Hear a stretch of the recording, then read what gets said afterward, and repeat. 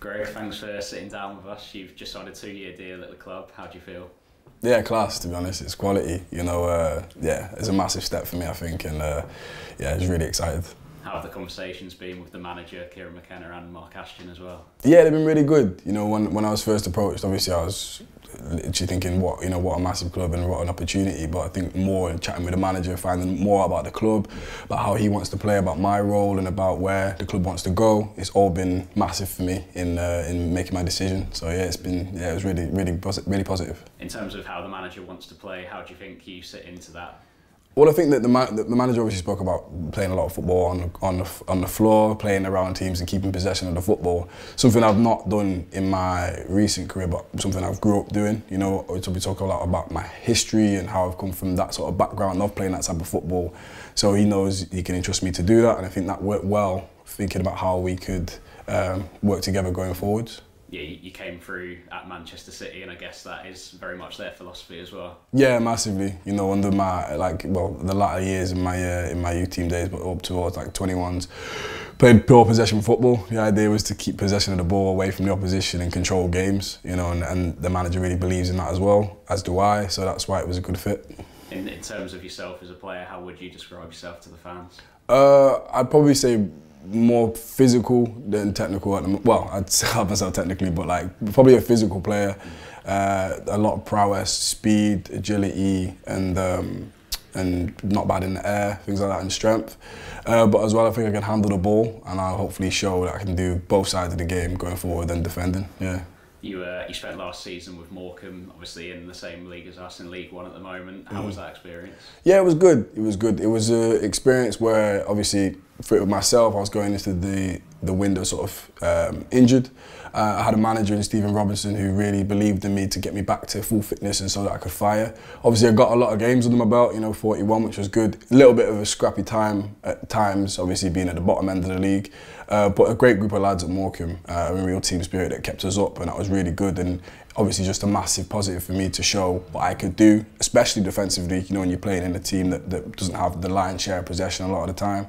Um, but I think for me, the new challenge now will be playing in a team who's got the ball a lot more and, uh, and, and doing things going forward as opposed to maybe keeping teams out more two of the games you did play last season were against Ipswich, of course. Yeah. You played at Portman Road as well, where we're just walking around. How much are you looking forward to playing there as a home player now? Oh, massively. I mean, it was like it was. Uh, I think it was my first game back in League One. Uh, for I'm trying to think now, three three years. It was my first game back, and that was obviously coming to Ipswich, and it was uh, it was a, a, big occasion and a big day. Uh, and obviously the game was was really good last year, a competitive game.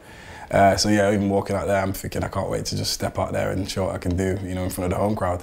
Yeah, and like you say, last year you had that home crowd. It was twenty thousand strong on that day against you. It'll be it'll be nice to have that back in you this time, won't it? Yeah, definitely. Uh, it's been a while since I've had a, a home crowd like that, um, which will be yeah, amazing just to, to be to be behind the boys and to be behind the team, you know, and try and play and impress and show what we can do, and also you know get results in front of, you know, everybody who's going to come out to watch as well as talking about the stadium, we're also talking about the new kits out there. You're obviously wearing the away shirt right now. What, mm-hmm. What's your thoughts on, on that one and the home one, of course? Oh, it's lovely. Yeah, yeah, yeah. I'm, I'm to be honest, I was, uh, I've been, it's been, I've seen it obviously online and things like that. Um, following the club, just seeing obviously that new partnership and stuff. But the shirt is, yeah, the shirt is really nice, and yeah, being able to wear that. Same before, I've never played in blue before, so be excited to uh, to wear that and uh, yeah, and show what we can do in, in, in a decent kit looking back through your career, you, you spent most of it in, in England and Britain. Uh, but one thing that does stand out a little bit, you spent a couple of years in the Netherlands. How, how was that experience? It was good. It was interesting because it's not something that everybody does, and I think that it's, it's happening more and more, which is nice to see because I believe that British players can go to other countries and, and and do well, you know, and show what they can do. Because if you don't get the opportunities in your own country, you don't want to sort of keep yourself in a, in a bubble uh, and I think that the experience taught me a lot. It was unfortunate the way it panned out, just because perhaps I didn't have exactly the success I wanted to on the pitch. But I think it helped me grow as a person and, and as a player. I know I learned a lot about myself, like I say, on and off the pitch. Yeah. Uh, but the experience in the whole was mad. And also to, to go there and, and experience different leagues. You know, for me, it was like, it was something that was really interesting because there's people have more emphasis on different kinds of philosophies, ways of playing, and that was something that I like to to take on board, and it helps you going forward in your career. Yeah. In terms of different leagues as well. You obviously spent some time with Aberdeen as well. So what was that like? Yeah, it was good. It was very good. I working under Derek McInnes, man, and I, I really enjoyed that. You know, I think that I was I was unfortunate with injury there, um, just like random injuries as well, and stuff you've never you don't really hear about, which was frustrating because I think that we could have achieved something uh, really good there, uh, and it was it was exciting to play in Scotland as well. Obviously, like your games against Celtic Rangers, the atmosphere playing in front of fifty thousand plus was was really really exciting, um, and I did enjoy my time there a lot. Just frustrated on how it went, but it was yeah, it was a, it was a good time and a good league. But I mean, those experiences, good and bad, like you say, have built you into the person and the player you are today. Oh, 100%. You know, I think that when you have those experiences, and they can tend to always, like, not always, but sometimes be obviously some positive ones, some negative ones. For me, I think that the more negative ones I've learned from has helped me be stronger and more resilient sort of going through my career and just made it more uh, yeah, just, just, just more of a uh, all-rounded person as well. So I feel like that really helps going forward. And, and when new challenges come, it's like sometimes going over old ground, so you know how to deal with it. But if it's not, then you, you, you take it on board and learn from it again, and it makes you overall stronger, I'd say, yeah. Away from club football, you, you represent Jamaica internationally.